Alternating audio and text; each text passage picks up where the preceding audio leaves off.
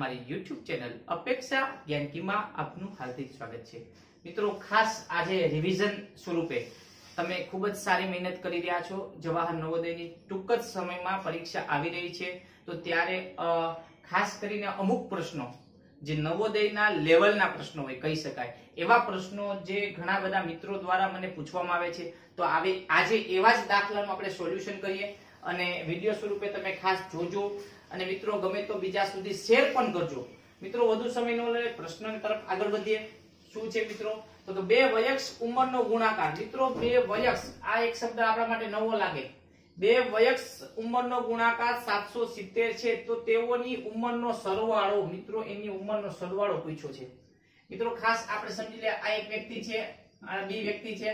બરાબર? આ બંને વ્યક્તિના ઉંમરનો ગુણાકાર, મિત્રો, સમજી લે. તો કેટલો છે? 770 છે. પણ મિત્રો, અહીંયા કઈ ટેકનિક આપણે અપનાવી ખાસ જો પિતાની ઉંમર અને પુત્રની ઉંમર આપણે સમીકરણ ચેપ્ટર જોયા, જો આપણે ધારવાનો દાખલો હોત, તો આપણે એક્સ ધારી અને દાખલાની શરૂઆત કરત. પણ મિત્રો, અહીંયા શું કરવું? તો આપણી પાસે એક જ છે વસ્તુ કે અવયવ. 770 ના મિત્રો આપણે અવયવ પાડી દઈએ, ઓકે? કે એના આધારે આપણને ખ્યાલ આવી જાય, બરાબર? તો 770 ને પેલા બે વડે આપણે ભાગીએ. બરાબર 770 છે ને બે વડે બે તેરી 6 બે અઠા 16 બે પંચા દસ. મિત્રો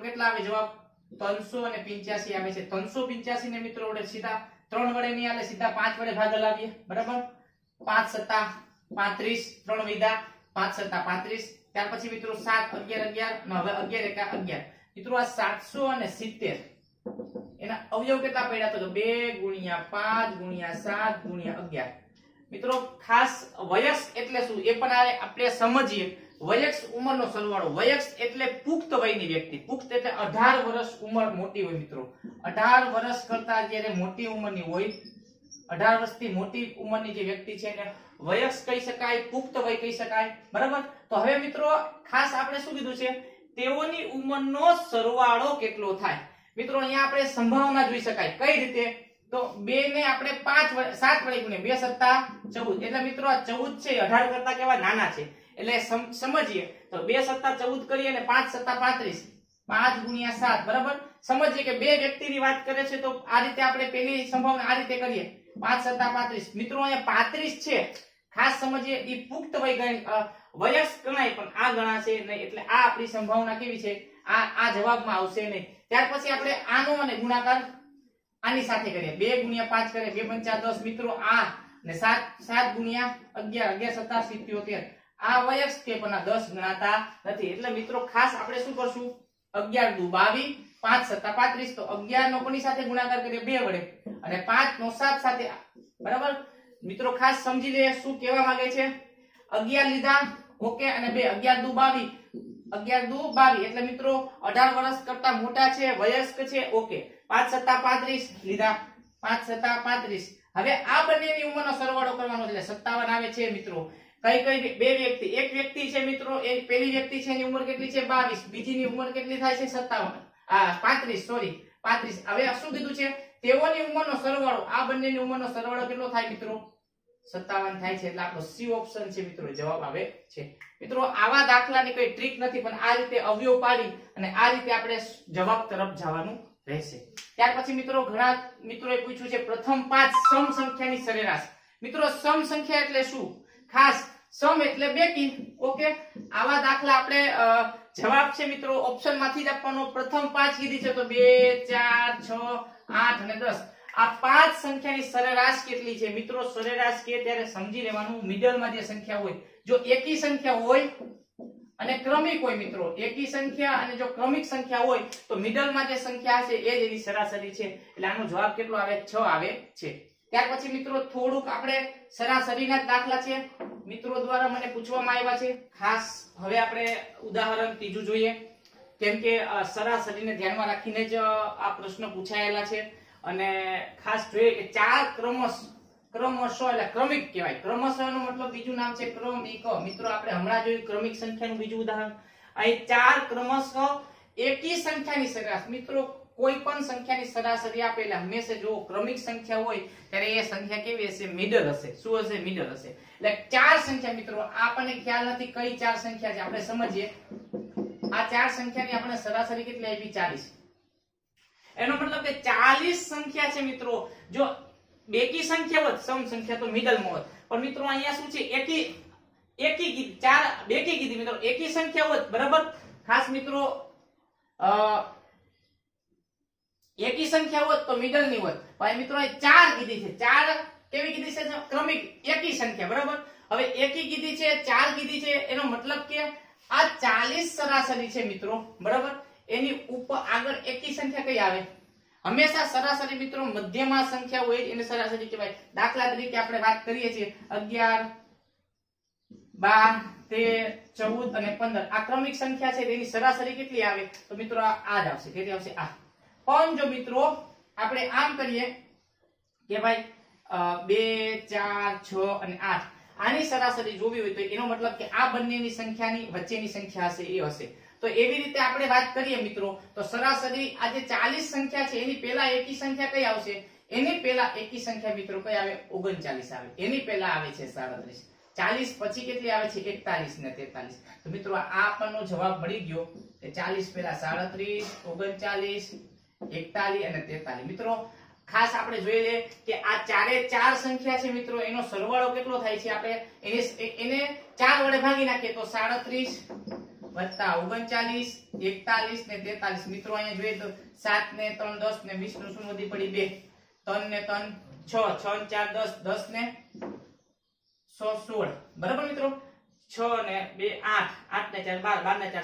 મિત્રો આનો જવાબ આવે છે એકસો સોળ ભાઈ આપણે ચાર કરીએ તો ચોકે ચોકે સોળ મિત્રો આવે ઉપર ગયું. એનો મતલબ કે આ જે સંખ્યા આપણે શોધી છે એ ચાર મિત્રો ક્રમશઃ એકી સંખ્યા છે.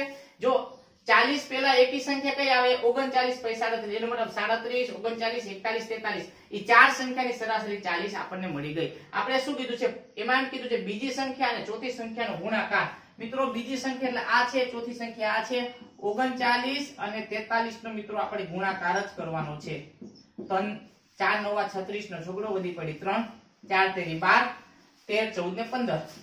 ત્રણ, નવા સત્યાવીસ વધી પડી. બે, ત્રણ, તેરી, નવ, દસ ને અગિયાર.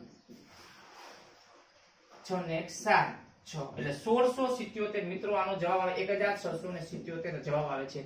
મિત્રો, આ દાખલો એકદમ લેવલ છે, કલાકીના લેવલનો દાખલો છે. નવોદયમાં જો પૂછાય, તો ખૂબ જ અઘરું કહેવાય. બાળકોને ધ્યાનમાં રાખીને આવા દાખલા હોઈ શકે નહીં, પણ છતાં પણ પરીક્ષક છે એ સ્વતંત્ર ધરાવે છે. જો પૂછવું હોય તો પૂછી શકે, પણ આપણને ખબર હોવી જોઈએ કે આ રીતે સરાસરી કીધી હોય હંમેશા મિડલની સંખ્યા જ હોય છે. ત્યાર પછી મિત્રો, ઉદાહરણ ચોથું જોઈને ખાસ શું કીધું છે? 30 વિદ્યાર્થીઓની સરેરાશ ઉંમર કેટલી છે? 15 મિત્રો, અહીંયા 30 વિદ્યાર્થીની વાત થાય છે. વિદ્યાર્થી કેટલા છે? 30 એની સરેરાશ કેટલી કીધી છે? 15 વર્ષ ઉંમર. પણ જો તેમાં શિક્ષકની ઉંમર સાથે લેવામાં આવે તો સરેરાશ એક વર્ષ વધી જાય. મિત્રો, અહીં વિદ્યાર્થી વત્તા શિક્ષક. એટલે મિત્રો, કેટલા થાય છે? 31 જણા થઈ જાય. એક એડ થાય. એક શિક્ષક એડ થાય તો સરાસરીમાં શું ફેર પડે છે? તો સરાસરી એક વર્ષ વધી જાય. ઉંમર સરાસરી છે એ વધી જાય છે. એટલે 15 ને કેટલા થઈ જાય? સોળ. તો આપણે શિક્ષકની ઉંમર કેટલી? મિત્રો, અહીંયા શિક્ષકની ઉંમર. ખાસ કરીને સરાસરીના જ્યારે મેં ચેપ્ટરના દાખલા જે સિરીઝ આપણે ચાર ભાગ બનાવે એમાં આવો દાખલો છે જ. પણ છતાં વિદ્યાર્થીને ધ્યાનમાં રાખીને જે પ્રશ્ન મને પૂછેલા છે, તો આપણે એનું સોલ્યુશન આપીએ કે 30 વિદ્યાર્થીની સરાસરી કેટલી છે? 15 જો એમાં શિક્ષક એડ થાય, તો સરાસરી એક વર્ષ વધી જાય. 15 વત્તા એક 15 15 હતી, એમાં એક વધી ગઈ એટલે કેટલા 16 થાય છે મિત્રો. અહીંયા ખાસ ધ્યાન રાખીએ કે કોનું શિક્ષકનું જ્યારે વજન શિક્ષકનું ઉંમર શોધવાની હોય તો સોળ તો આ આપણે લખવાના જ. પછી સરાસરીનો તફાવત કેટલો આવ્યો? મિત્રો, સરાસરી પેલા 15 હતી, હવે સોળ. તો સરાસરી વચ્ચેનો જે તફાવત છે મિત્રો, કેટલો આવે છે? તફાવત કેટલો લાવે છે? એક. તફાવત એક આવે છે. એક વર્ષ, બરાબર? તો કોને લાગુ પડે તફાવત? તો જેટલા પણ વિદ્યાર્થીઓ મિત્રો, ખાસ આવા દાખલામાં બીજું કાંઈ નથી કે જેટલી પણ સંખ્યા છે, દરેક સંખ્યાને તફાવત લાગુ પડે તો 30 ગુણ્યા એક કરીએ એટલે કેટલા થશે? 30 એકા 30 એટલે 6 4 3 ને 1 4 એટલે મિત્રો, શિક્ષકની ઉંમર કેટલી છે? 46 વર્ષ છે.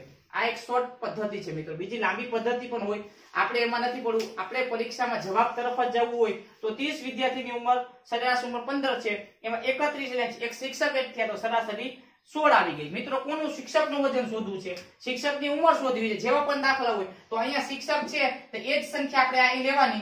અને સરાસરીનો તફાવત કેટલો? એક. એક કોને લાગુ પડે? ત્રીસે ત્રીસ વિદ્યાર્થીને લાગુ પડે. એટલે અહીં ત્રીસ, એની સાથે એડ કરી દેવાનું. ત્રીસ એકા ત્રીસ. જો સરાસરીમાં બે વર્ષ વધતા હોય, તો ત્રીસ, અહીંયા તફાવત બે નો આવે, તો ત્રીસ ગુણ્યા બે, તો સાહીઠ એડ થાય. અહીંયા એક જ વર્ષ મિત્રો દાખલાની રકમમાં લખેલું છે, એક વર્ષ વધે છે સરાસરી. એટલે એક જ આવશે, એનો મતલબ આનો જવાબ આવશે છેતાલીસ આવે છે. મિત્રો, ખાસ પછી, આના પછી પણ એકાદ ઉદાહરણ છે, જોઈ લઈએ. એટલે શું કહેવા માંગે છે? ખાસ જમ્મુ એક્સપ્રેસ છે મિત્રો સવારના આઠ અને વીસથી. મિત્રો, આઠ અને વીસે જમ્મુ થી ચાલે છે. મિત્રો, આ ટ્રેનની વાત થાય છે, ઓકે. ઉપડવાનો ટાઈમ કેટલા વાગ્યાનો છે? તો આ ટ્રેન છે મિત્રો જમ્મુ થી કેટલા વાગે ઉપડે છે? આઠ અને વીસે ઉપડે છે. ઓકે. દિલ્હી પહોંચતા એને સમય કેટલો લાગે? અહીં સમય આપી દીધો. મિત્રો, અહીં આ દિલ્હી છે. આ દિલ્હી એને પહોંચવાનું છે. દિલ્હી પહોંચવા માટેનો સમય છે એને આઠ કલાક અને પાંત્રીસ મિનિટનો સમય લાગે છે. બરાબર? જો ટ્રેન 25 મિનિટ મોડી, મિત્રો એ ટ્રેન મોડી હોય મોડી હોય એનો મતલબ કે જે સ્થળે પહોંચવાનું હતું, દાખલા તરીકે મારે ચાર વાગે રાજકોટ પહોંચવાનું છે, હું વીસ મિનિટ મોડો પહોંચું, તો એનો મતલબ શું થશે? હું ચાર વાગ્યા, ચાર વાગે પહોંચવાનું તો વીસ મિનિટ મોડો પહોંચ્યો એટલે ચાર ને 20 પહોંચ્યો કહેવાય. જે વીસ મિનિટ છે, મારે સમયમાં એડ કરવી પડે. મોડો પહોંચ્યો એટલે એ સમય કરતા હું મોડો છું એટલે ત્યાં આપણે વીસ મિનિટ એડ કરવી પડે. તો અહીંયા ખાસ આપણે સમજી લઈએ કે પેલા તો આઠ ને વીસે ઉપડવાનો ટાઈમ છે, ઓકે. ખાસ આવા દાખલા હોય ત્યારે આજે લીટી કરી લે. કેટલો સમય લાગે છે? આઠ કલાક અને પાંત્રીસ મિનિટ. ઓકે, પાંચ પાંચ, આઠ દુ ને સોળ. એટલે મિત્રો, સોળ કલાક અને પંચાવન મિનિટ. સમજી લઈએ. સોળ કલાક છે, સવારના ઉપડે છે? ઓકે, સવારના આઠ વાગ્યાથી ચાલુ કરશે એટલે અને સોળ કલાક એટલે મિત્રો કેટલા થશે? તો સોળ કલાક છે અને પંચાવન મિનિટ છે, એટલે એમાંથી આપણે બાર કરીએ એટલે આપણને ખ્યાલ આવી જાય. સાચો ટાઈમ ચાર અને બાર આપણે બાદ કરીએ ખ્યાલ ચાર અને પંચાવન થાય છે. એટલે સોળ કલાક અને પંચાવન મિનિટ ને ચાર કલાક અને પંચાવન મિનિટ બપોરના ગણાય છે. બરાબર? હવે ચાર અને પંચાવન મિનિટે બસ ટ્રેન ક્યાં પહોંચવી જોઈતી હતી દિલ્હી. પણ મિત્રો, થયું શું કે 25 મિનિટ ટ્રેન મોડી પહોંચી અહીંયા ખાસ જોયેલી છે. તો 25 મિનિટ આમાં આપણે શું કરવું પડશે? એડ કરવા પડશે. ટ્રેન ચાર અને પંચાવન ને બદલે હવે શું થશે? પાંચ ને પાંચ, દસનું શૂન્ય વધી પડી એક, પાંચ ને છ ને આઠ.